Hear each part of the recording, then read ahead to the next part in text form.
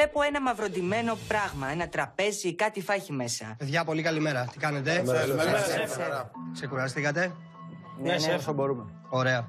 Ο Τσίκλης δεν κοιμήθηκε. με την προσμονή να μάθει το πλεονέκτημά του σήμερα. Ε; Ε, ναι, έχω μια αγωνία. Λοιπόν, να θυμίσω ότι ο Δημήτρης, ως νικητή της χθεσινής δοκιμασίας, έχει ένα πλεονέκτημα στη σημερινή.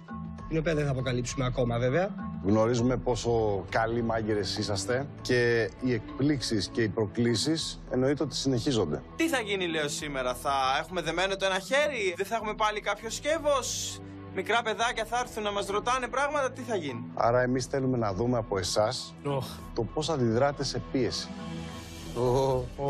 Πόσο ευέλικτοι είστε, πόσο δημιουργικοί είσαστε. Δηλαδή. Και αντίληψη έχω για ταχύτητα. Έχω τώρα τις του έχει μπει στο μυαλό να κάνουμε. Α το ξέρει. Έχετε απορία να δείτε τι κρύβεται κάτω από το πανί, ε; Ναι, σε Ναι, σεφ.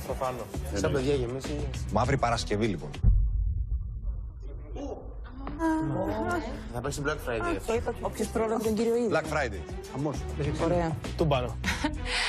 Ο κύριος Κουτζάς με το που αναφέρει μαύρη Παρασκευή λέω «Ωχ, Σήμερα έχει τρέξιμο. Να ξέρα να βάλω τα αθλητικά μου.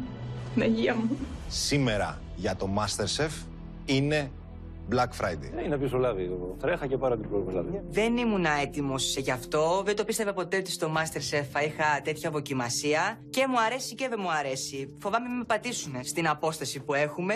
Γι' αυτό το λόγο φοβάμαι. Έχετε δει, φαντάζομαι, κόσμο να περιμένει να ανοίξει ένα μαγαζί για να πάρει κάτι. Έτσι λοιπόν και εδώ σήμερα, αφού δείτε τι υλικά κρύβονται κάτω από το πανί, θα πρέπει να τρέξετε και να τα προλάβετε. Black Friday στο Masterchef. Έχω ζήσει Λονδίνο, ξέρω πολύ καλά τι κακό πάει να πει αυτό, τι χαμός μπορεί να γίνει. Οπότε καταλαβαίνω ότι όποιος προλάβει, προλάβε.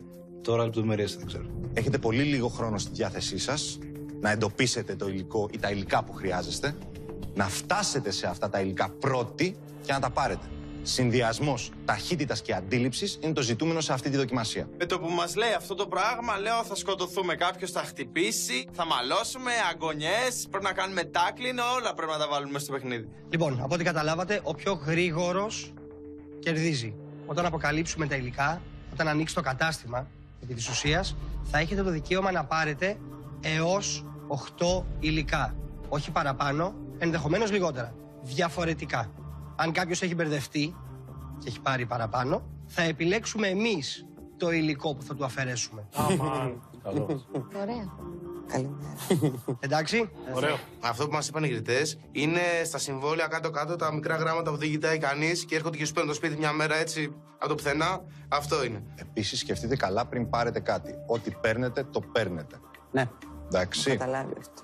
Δημήτρη, μήπως τώρα υποψιάζεσαι το πλεονέκτημα που κέρδισες χθε. Ή θα πω πρώτος ή τελευταίος. Πολύ σωστά. Θα έχεις ένα αβαντάζ 30 δευτερολέπτων.